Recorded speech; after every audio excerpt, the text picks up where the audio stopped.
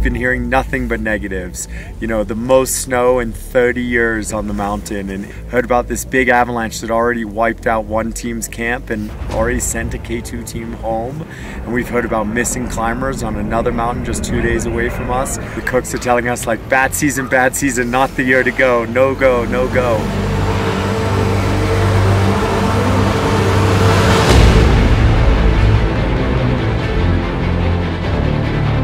I think in these trips, most of the time you are really close to death and you, you really face the death. This is the spot where you just go fast as you can. Hope it's not your day. It's not my day. It's gonna be alright. This year uh, we have more people trying to climb K2. We will have more traffic jams and that is a dangerous thing.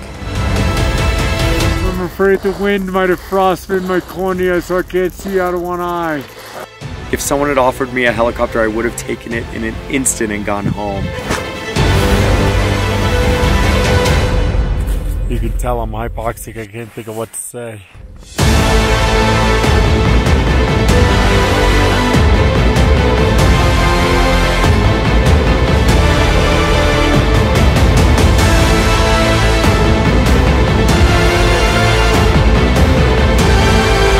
Feel like I want to go until the mountain tells me I can't go anymore.